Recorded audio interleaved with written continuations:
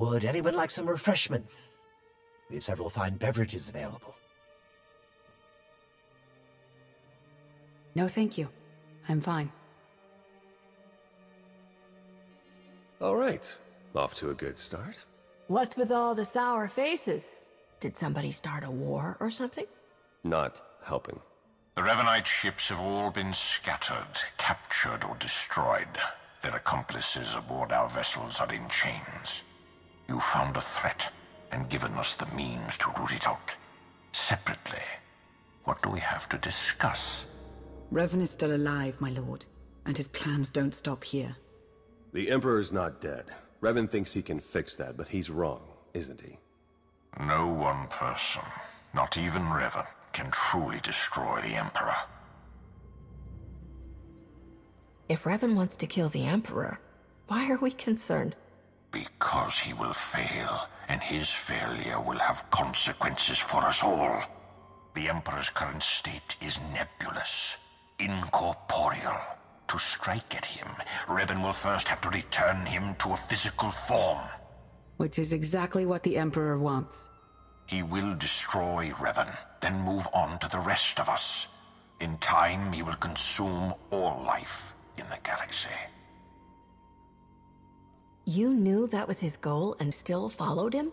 I only learned of his true plans recently, and I am no more interested in being fuel for his insanity than you are. We have to stop this. Intercept Revan before he can restore the Emperor's form.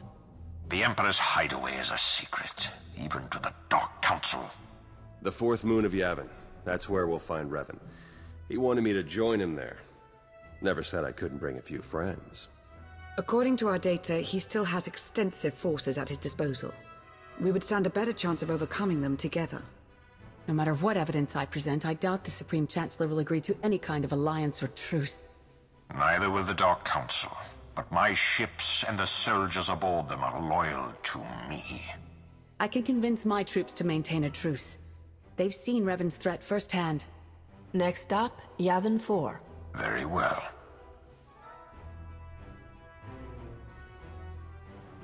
Theron.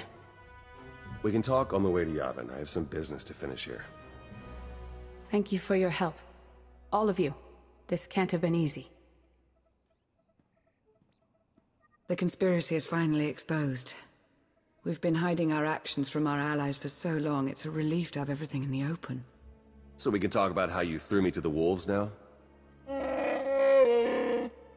I made a calculated strategic decision, and it worked, as we can all see now. And if you had talked to me about it, I would have volunteered, but you didn't even give me a choice. We couldn't risk the Revanites knowing that your capture was a ploy. You had to be in the dark for the plan to work.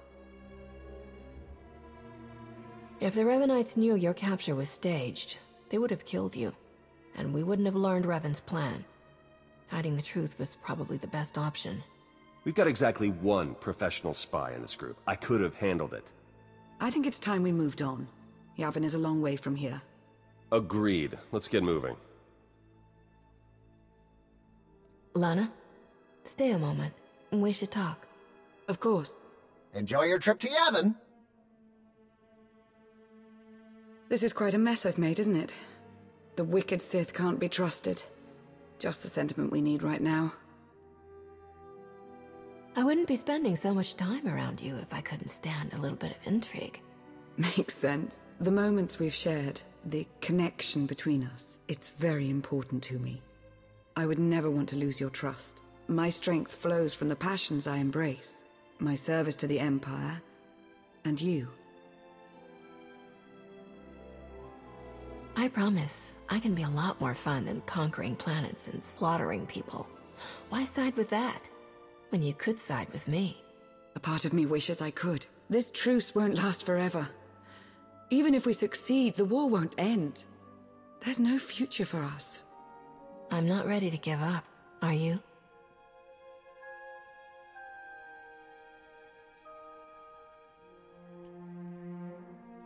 Hmm. Not yet. But time is not our ally. We should hurry along.